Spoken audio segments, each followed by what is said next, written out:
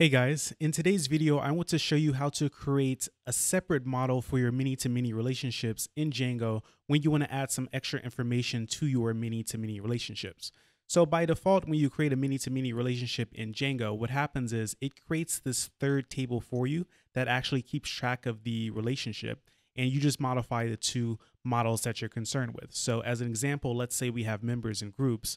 You have a member table that has the potential people who can join the group, so names of the members, and then you have the actual groups. So you have the names of the groups. And then when you want to associate the members in the groups, you have a many to many field and Django will go ahead and create a third table for you that will just create the connection between the two, which is basically just the foreign key for both tables.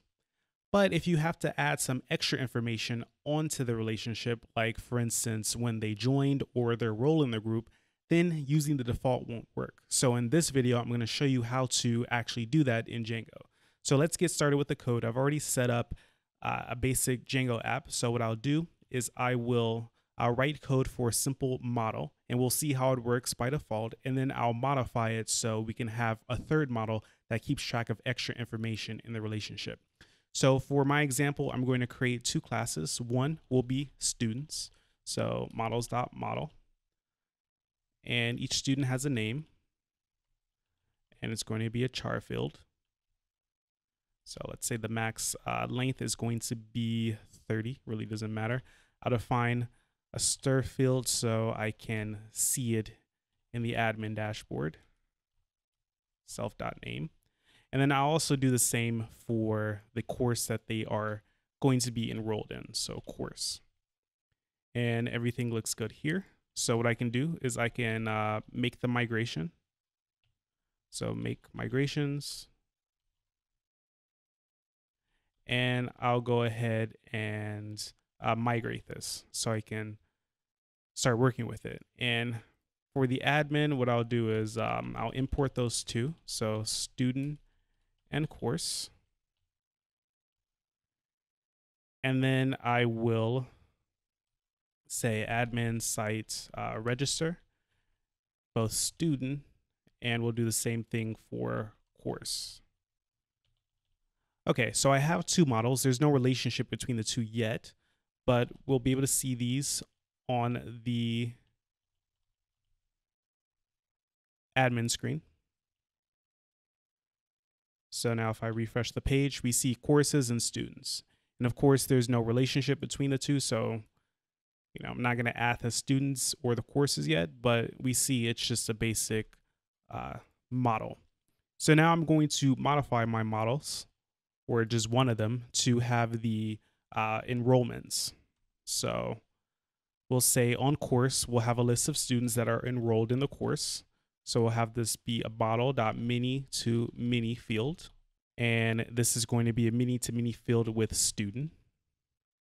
And now if I make migrations, and then migrate, we'll see the relationship in the admin dashboard.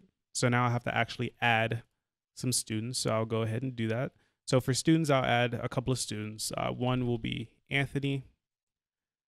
Uh, another will be Brittany.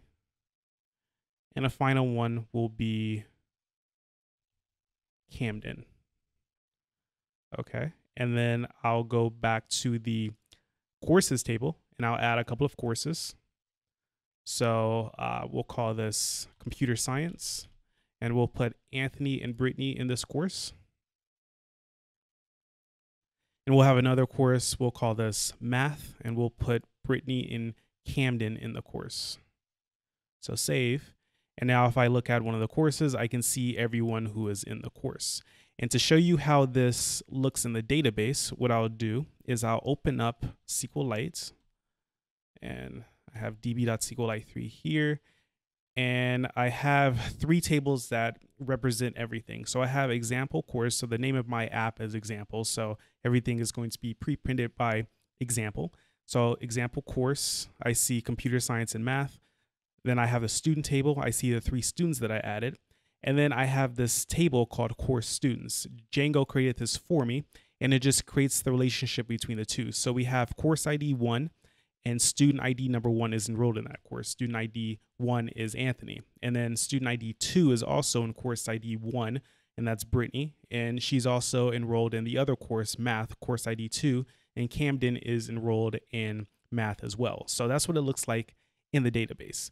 But as you can see, I can't associate any extra information uh, with this, like the date that they enrolled in the course or let's say the grade that they got in the course. So what I'm going to do is I'm going to do that now. So to do that, let me comment out my models. So when I go to make the migrations again, it will delete it.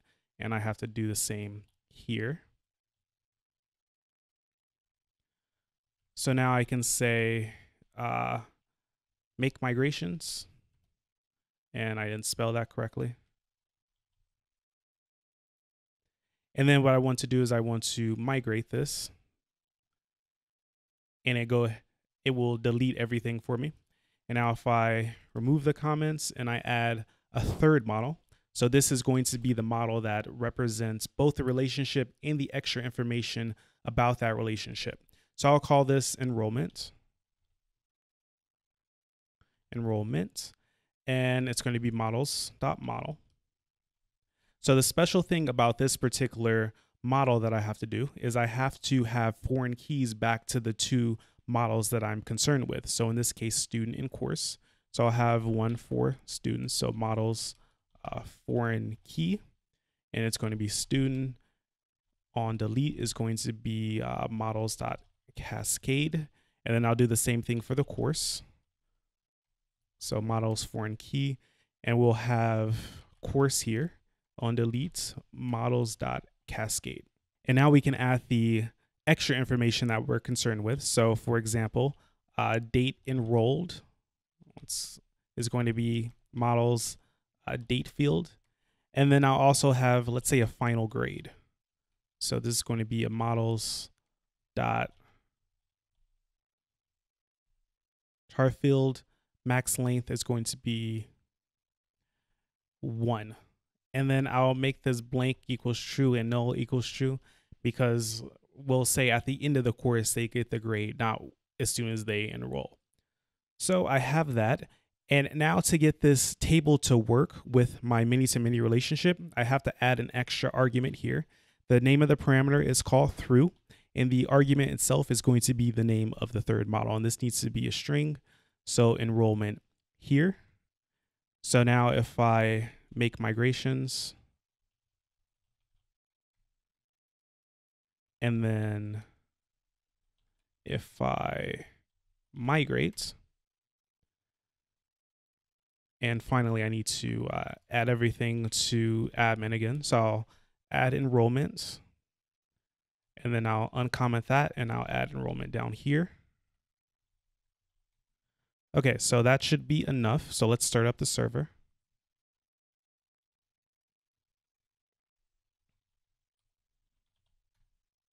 Now let's take a look. So we have the three that we're interested in. So courses, enrollments, and students. So I have no students because I deleted the model. So I'll go ahead and add the same students. So Anthony, Brittany, and uh, Camden. Okay, and then I'll add the same courses as well. And notice when I go to add a course, I can't select the students that go in the course because it's no longer being handled automatically for me. I have to go through enrollment. So one course is math and the other course is computer science. Okay, so if I go back and I go to enrollments, now I can create an enrollment. So this means I can create an association between a student and a course. So I can select Anthony and I can put him in math and I can also say the date enrolled. So let's say May 3rd, and I can give him a final grade or I can leave it blank. So I'll do that. Now, Brittany, I'll enroll her in math as well, and we'll put her in on May 1st. And then we'll do one more for Camden, put him in computer science. Let's say he enrolled back in April and he got an A for the course. So saving, we have these three objects and they represent the relationship between the students and the courses. So if I go back to VS Code and look at the SQLite Explorer, just refresh that. I now have this example enrollment table. And when I open it up, I see I have the course ID, the student ID, so one and one. So Anthony is enrolled in math. And then no final grade, it's null. And the same thing for Brittany. And then Camden is enrolled in computer science and he got an A. And we can also see the dates enrolled for all of those students. So you can put as much information on here as you want as long as it makes sense for the relationship. So let's demonstrate a problem. So we already know Anthony is enrolled in math. So if I add Anthony here and math again, and let's say today and save, nothing happens. Well, it adds it to the database, but this may not be what you want. So I have Anthony in math here, but also Anthony in math here. And I don't want that to work. I want it to fail. I want each student to be able to enroll in a course once. We're assuming that they can't retake a course. So what I'll do is I'll delete this particular enrollment and I'll modify my model a little bit so I can create a unique relationship between multiple fields in my uh, enrollment. So to do that, I'm going to create the meta class here and I'm going to use a field called unique together. And this is going to take a list of lists and inside of the nested list, what we're going to have is the list of fields that should be associated together, that should be unique together. So in this case, it's going to be student and course. And now what I need to do is I need to uh, make the migrations again. And then I can migrate again. And if I start the server, I can go ahead and try to add that relationship again. So I'll try to put Anthony back in math and hit save. And now I get an error. It says enrollment with the student and course already exists. So that's exactly what I want. And now there's only going to be one unique row for the student and course combination. So the last thing I want to show you is how to work with this in code. So what I'll do is I'll start up the shell. So uh, shell, and I'm going to import everything. So from dot, or let's say from example dot models, I'm going to import uh, student, course, and enrollment so we can see how these work. Let me clear that out. So the first thing I want to do is I just want to show you how to query. So if I start with a course, uh, let's say uh, math. So we'll have course objects gets and we'll have pk equals one. I know that's math. So we look at it, we see course math.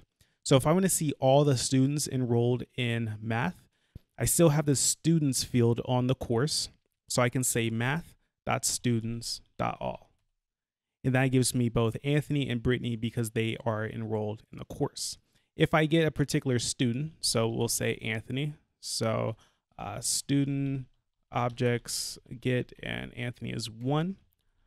We see I have Anthony here and I'll clear that and I can get all the courses that Anthony is enrolled in. It should be one. So Anthony course set because there is no field here, so I have to use set. So of course set and then all. And we see Anthony is only enrolled in math.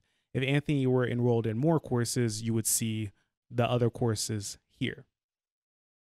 So now let me show you how to create these relationships in code. Let's say I wanted to add Anthony to uh, computer science. So let me get computer science here. So computer science is going to be course uh, objects get, and then pk is going to be equal to two. And then I can do something like uh, computer science uh, members, or not members, I'm thinking of groups, but students in this particular case, computer science dot students dot add. And what I want to do is I want to add Anthony. But in addition to simply adding Anthony to the group, there's something else I need to do. I need to specify the extra information. So to do that, it's something called through defaults. And what I can have is something like uh, date enrolled. And I can put in a date. So for date, I believe it's uh, Django dot well, this is going to fail probably. So let's leave the date enrolled blank and see if I can get away with that. And instead, I'll use the final grade as an A. So this is a dictionary. I'll add it. We have invalid syntax somewhere. Uh, final grade. Oh, this is a dictionary should be a colon. And there should be a string for final grade. This isn't JavaScript. So add a quote. Okay, so it says it has an invalid date format. Let's see if I can just go ahead and type it in as a string. So 2020 05 01. Okay, so it allowed me to add it and I can do um, computer science dot save. And now if I look at Anthony and get all of his enrollments, so Anthony course set all, we see Anthony is now enrolled in computer science.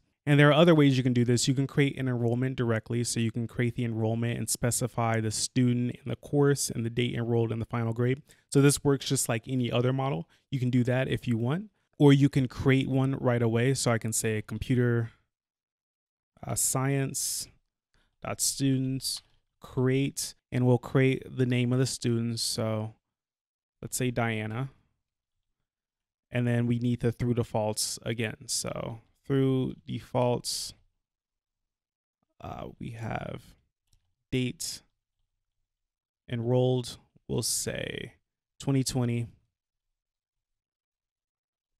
04 02 and then the final grade will be null so I won't add it. And then I can save this and it's going to save both the computer science model and the Diana object.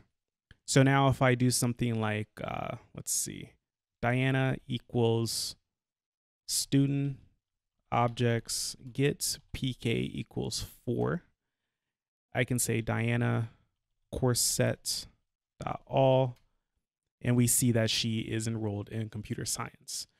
So using these extra models, a third model to represent the relationship is pretty straightforward to use. And it comes in handy a lot of times when you're designing your models. So if you were ever wondering how to do that in Django, this is how to do it. So that's it for this video. If you like this video, please give me a thumbs up. And if you haven't subscribed to my channel already, please subscribe. So thank you for watching and I will talk to you next time.